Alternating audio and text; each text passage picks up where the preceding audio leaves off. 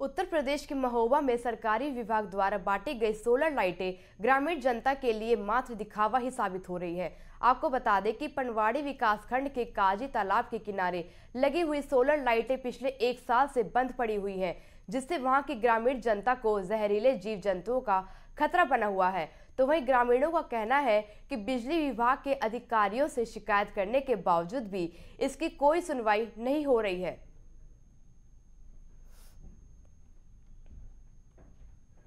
समस्या ये कि लाइट नहीं जल रही है और लाइट की सुनाई नहीं हो रही कह चुके कितनी बार। और बैटरी का तक पता नहीं है। क्या प्रधान- करें बताओ। प्रधान जी से शिकायत की? हाँ। क्या बोले? बोले हो जाएगा। समस्या ये है यहाँ का प्रधान है। यहाँ ये लाइट खराब है यहाँ की लाइट बैटरी है बैटरी काफ़ी दिन हो गए हैं। साल खान हो गया जब से बैटरी नदी शिकायतें बहुत पहुँचती हैं। शिकायतें तो बहुत देर हो गई है कम से कम पंद्रह बीस देर हो गई शिकायत। जी का बैटरी के पता नहीं है तो पैदान जी के पास तो बहुत देर गए